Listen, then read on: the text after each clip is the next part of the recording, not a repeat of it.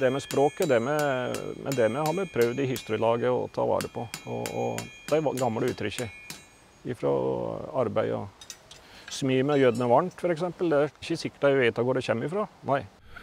Men det er ikke bare smeden som har satt spor etter seg i den immaterielle kulturen i Hallingdal. Det nasjonalromantiske suset der kan skrives helt tilbake til fortellinger fra Tidemann og Gude sitt tid. Faren til Hans Gude var sorenskriver på Nes. Hans hadde jo med seg venner. Eh, Adolf Tidemann, som han traff på en malertur til Sogn. Han kom innom her, og det var Flinto, og det var Frikk, og det var mange kjente. Men ikke bare malere. Det var komponist Halvdan Kierulf var en av de som var her. Og Jørgen Moe. Og, og Hans Gude skriver i sine brev at Jørgen sitter og, og skriver. Han intervjuer gamle rukkedølinger som kommer og forteller. Jeg heter Leif Olav Klippe og kommer fra Rukkedalen. Det er en sidedal her til Nes i Hallingdal. Ja. Jeg har vært med i Nes historielag siden jeg ble stifta i 96. Da. Ja, ja. Da, var jeg, da var jeg vel nesten av de yngste som ble med. Og nå er jeg Ja, jeg er vel nesten det yngste ennå.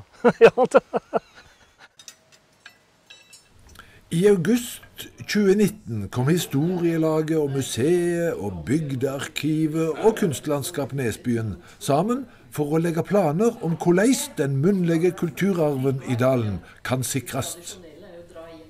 Jeg har alltid brent veldig mye for dette her. Jeg ser hvor mye muntlig kildemateriale kan tilføre. Eh, når en tenker på at en f.eks. har en, en gjenstand, da, og bare vise fram en gjenstand, som ofte museene gjør, så, så, forteller jo ikke den veldig mye til en person som ikke veit sammenhengen.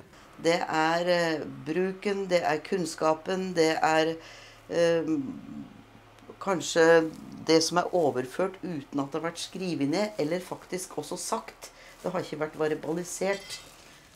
Det som du ikke har fått skriftlig, og i billedform de siste 100 åra har det jo kommet billedform. Men det er så mye annet med som ikke har kommet verken i bokform eller alt. Og det er jo da muntlig overføring fra generasjon til generasjon.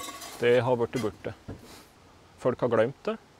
Folk har det så travelt at de har ikke stund å, å, å fortelle. De har ikke stund å ta kveldssetu og fortelle det de kunne, og det de har lært av sine besteforeldre.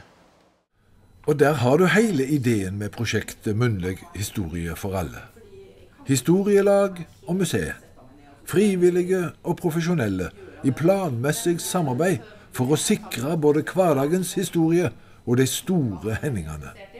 Både dramatikken og poesien.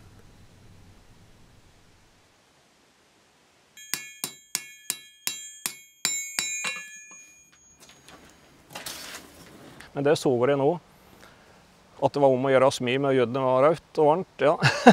For blir det kaldt, så da er det for seint. Ja.